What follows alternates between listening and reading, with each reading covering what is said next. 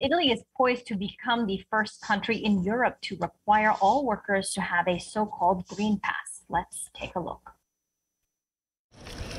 Italy is set to become the first European country to make a COVID 19 Green Pass mandatory for all workers. It is a digital or paper certificate showing someone has received at least one vaccine dose, tested negative, or recently recovered from the disease.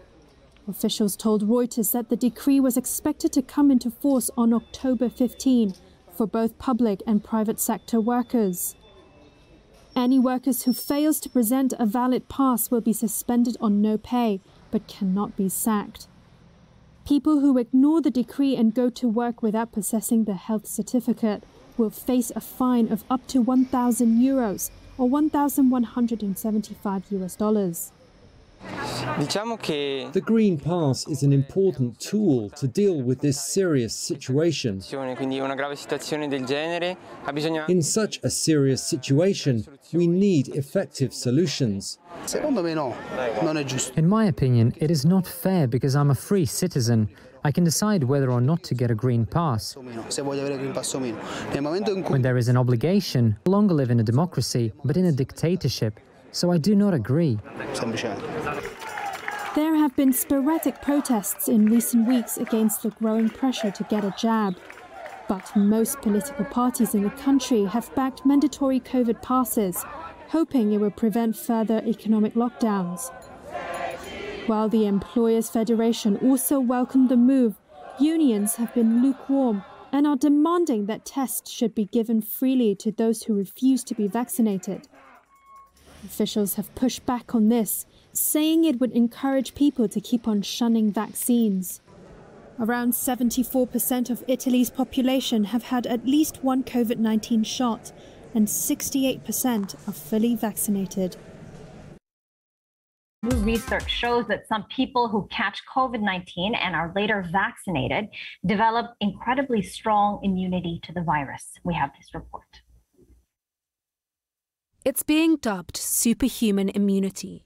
New research shows some people may have a significantly higher level of immunity to COVID 19 that could even protect them from future pandemics. Scientists studied individuals who have recovered from the virus and then later received an mRNA vaccine, such as Pfizer or Moderna. What they found was that protection against the disease and its variants was higher than immunity conferred by either infection alone or vaccine alone. Paul Bieniasz is a virologist at the Rockefeller University. He prefers the term hybrid rather than superhuman immunity. So this is a phenomenon that, that we and others have uncovered in people who were infected by SARS-CoV-2 uh, early in the pandemic. And then some months later, when vaccines became available, they were vaccinated. Their antibodies were not only capable of neutralizing all of the SARS CoV 2 variants that we have seen thus far. They're also capable of neutralizing viruses that are very much more diverse, including uh, the original SARS coronavirus, which is really quite different to the current ones, viruses that are currently circulating in bats and pangolins. Bieniasz went on to urge caution, stressing that the research is new and needs more real world testing. He said it did offer hope, though, for the people who had recovered from the disease and been vaccinated. His team is investigating whether a third booster shot has the same effect. So far, more than 226 million people around the world have been infected with COVID, and some 4.8 million people have died. The World Health Organization has said another flu pandemic is inevitable, that it is a matter of when, not if.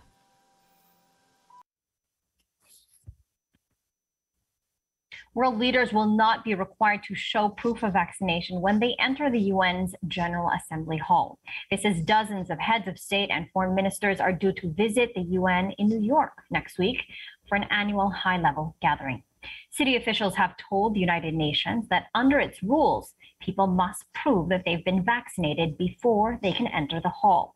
However, the UN's headquarters in Manhattan is considered international territory and is thus not subject to the US's laws. But UN officials had previously pledged to abide by local and international, local rather, and national guidelines when it comes to this pandemic.